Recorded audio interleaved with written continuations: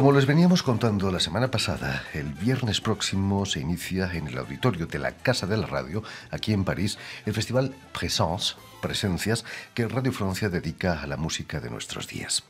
Junto a la invitada especial de esta edición, la compositora finlandesa Kaija Saariajo, en los 18 conciertos del festival encontraremos tres estrenos aquí en Francia del compositor vasco Ramón Lazcano.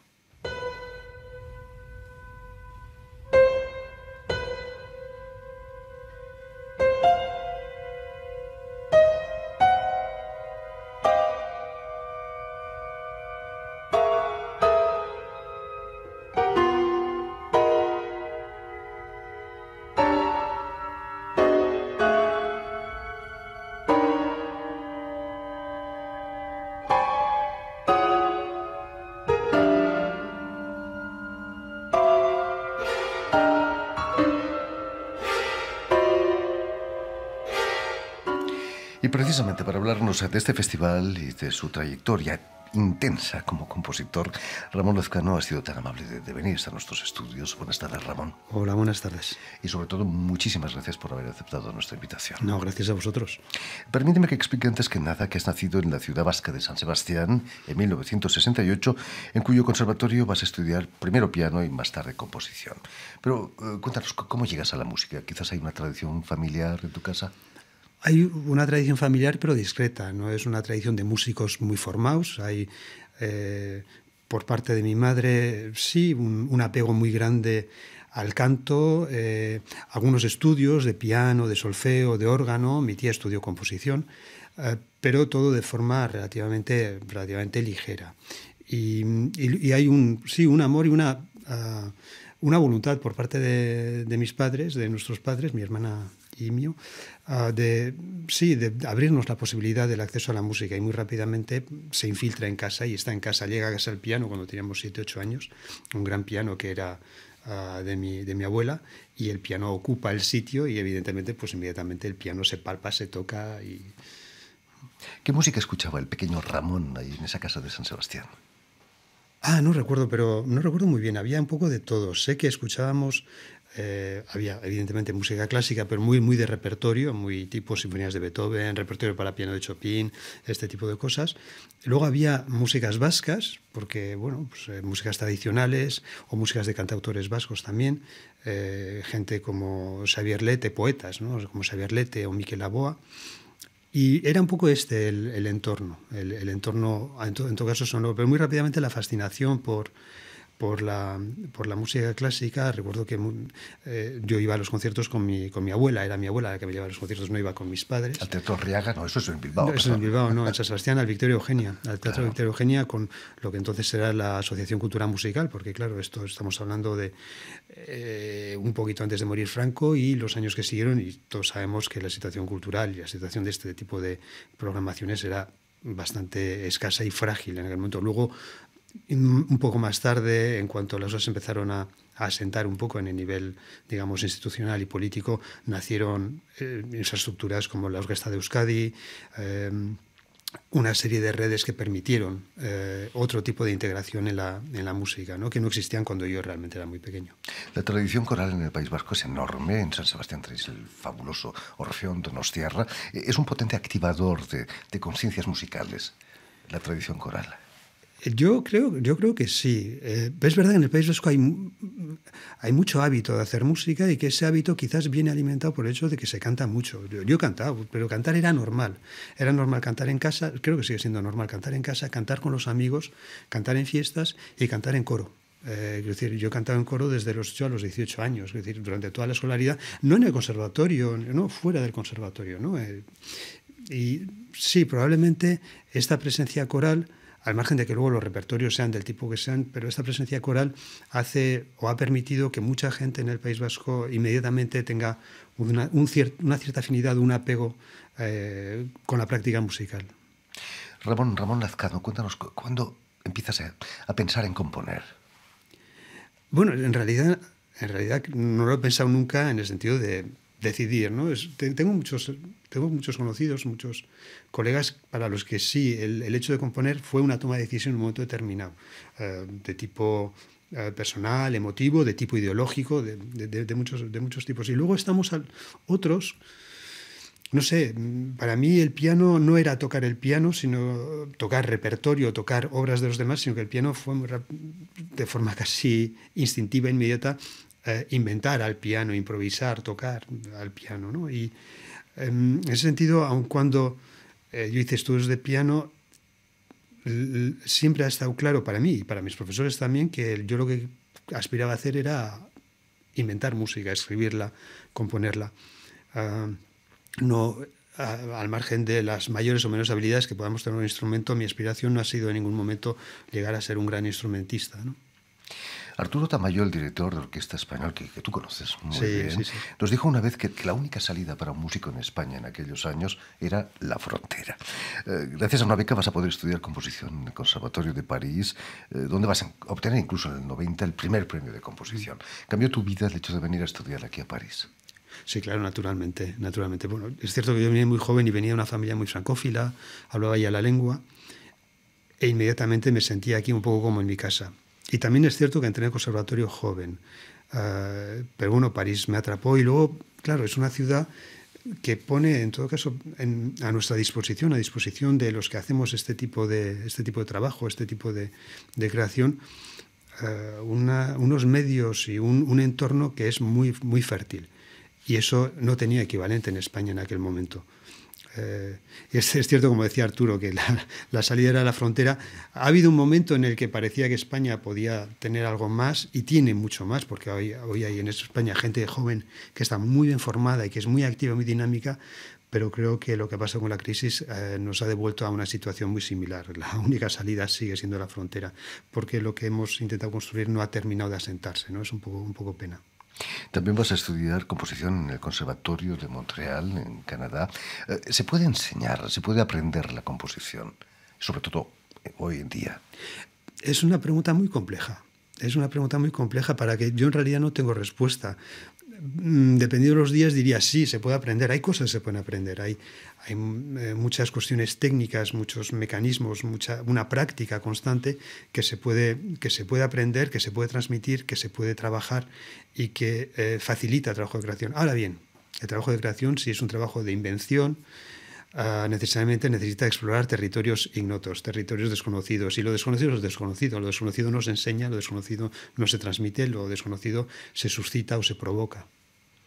Cuéntanos, Ramón, ¿qué importancia tuvieron en tu formación como compositor las dos estancias eh, que hiciste en Roma?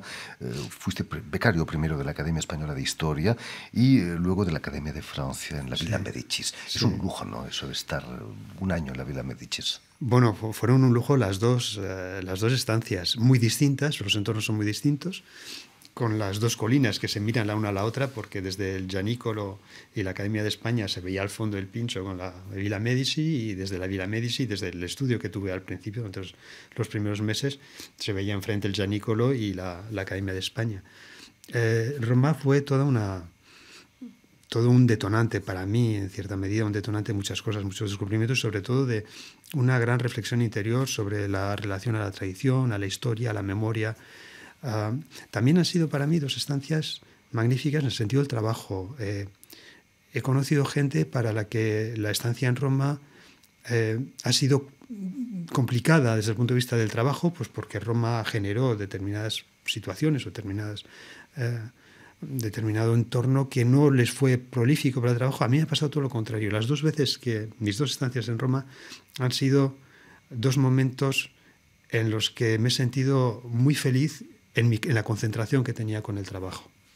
Por allí han pasado grandes compositores, estoy pensando en, Berlioz, que estuvo en el siglo XIX. Eh, es no se siente un peso de la historia viviendo en esa casa. Naturalmente, naturalmente. No se, siente, se, siente, el peso, pero bueno, eh, un peso está también para sobrellevarlo y para encontrar la ligereza que ese peso puede provocar. ¿no? Uno se aprende a llevar el peso, se hace músculo también, ¿no? aguantando los pesos se hace músculo y eh, se fabrica el cuerpo que permite justamente poder transportarlo. ¿Tú te sentiste nunca en una torre de marfil ahí en la Villa de Diches? No, no, no, no es mi estilo de todas formas. A mí siempre me ha gustado salir. Eh, no estuve encerrado en absoluto. Y también es, es, verdad que en la Villa Medici el año que estuve yo fue un año particular.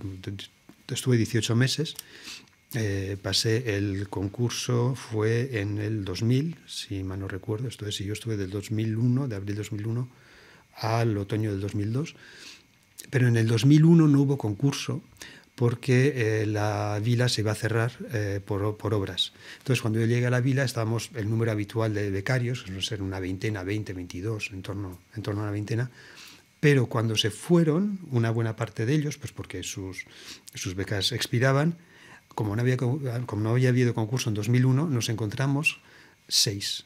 Entonces tuvimos seis becarios solos durante un año. Eso, eso sí es un lujo. Eso es realmente, un lujo porque mm, la vila se convierte en tu casa.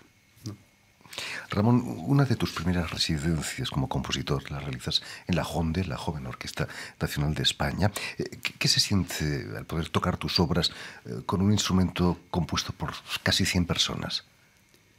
Bueno, a mí siempre me ha gustado mucho la orquesta, siempre he tenido pasión. Quiero decir, cuando nació la Orquesta de Euskadi, lo primero que hice fue abonarme a la Orquesta de Euskadi. Eh, es un entorno... Como espectador, por supuesto. sí, sí, claro. es un entorno que me es muy grato y muy afín. Eh, y trabajar con la Honde, la particularidad de la Honde es que trabajamos con, con, gente muy joven.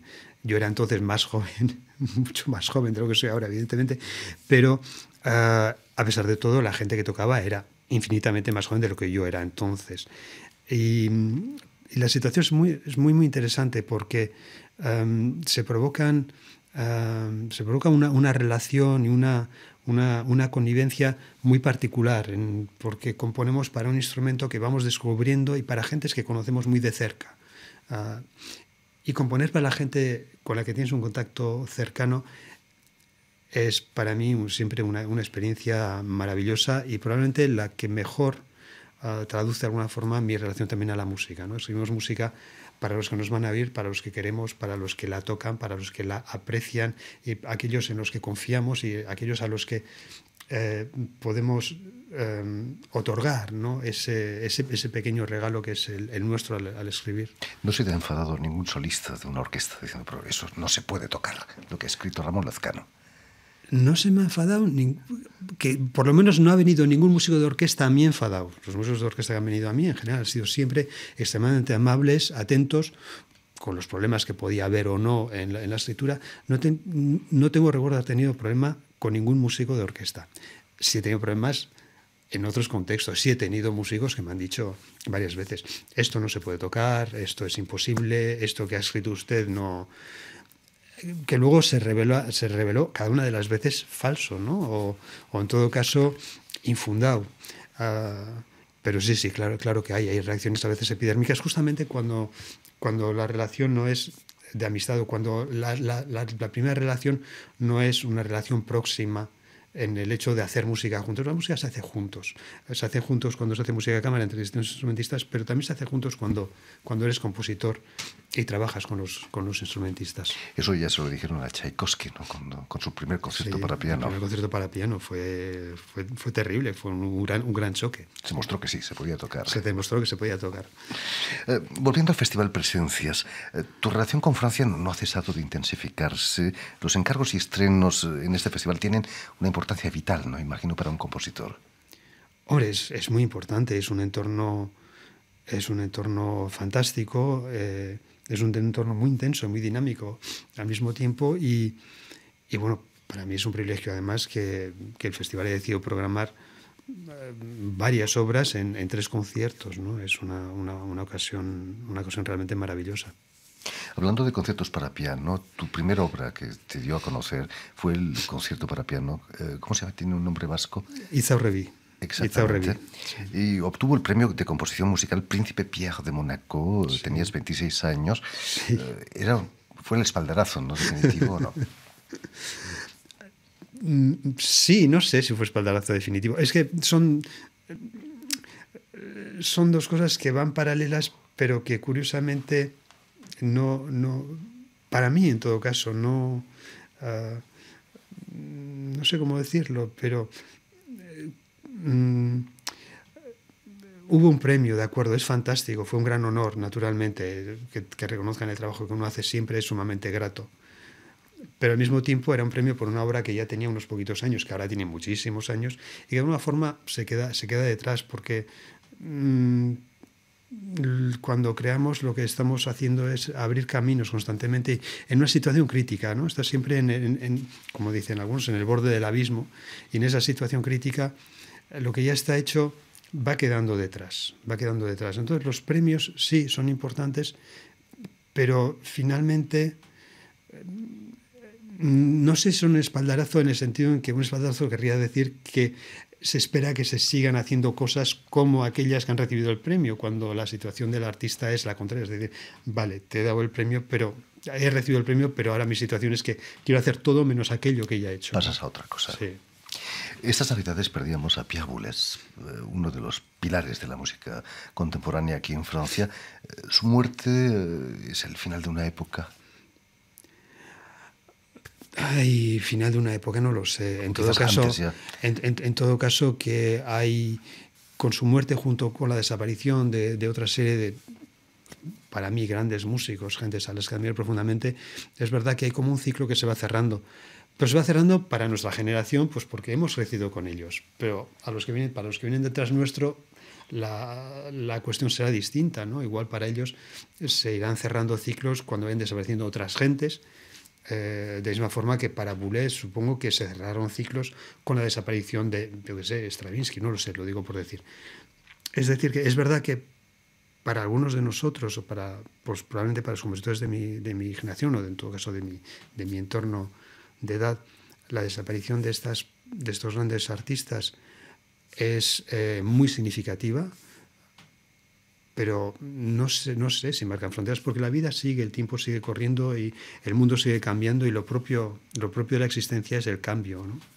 Su obra resta y sobre todo sus hijos, el Cam y el Ensemble Intercontemporain, que son grandes utensilios para compositores como bueno, tú. Y, queda, y queda su obra, porque su obra se puede criticar, pero es una obra fantástica, es una obra sumamente interesante, por no decir apasionante, en el momento que nos ponemos a reflexionar sobre ella desde muchos puntos de vista, eh, no únicamente el de, el de, la organización de las notas, de la combinatoria, sino también desde un punto de vista estético y de memoria e incluso histórico.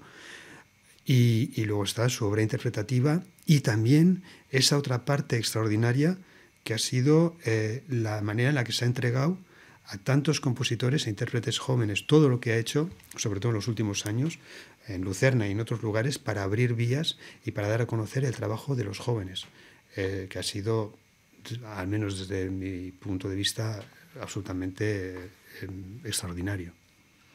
En fin, pues ya lo saben, tienen una cita en el Festival Présence, Presencias, en Radio Francia, donde va a estrenarse varias obras del compositor Ramón Lazcano, entre otros compositores.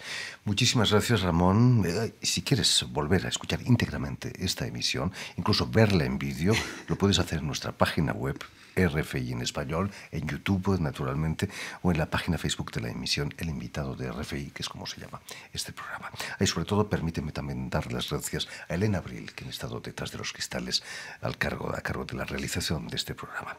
Y nos vamos, nos vamos con ese concierto para piano maravilloso, Itzaur Repi. Muchas gracias. Ramón Lazcano.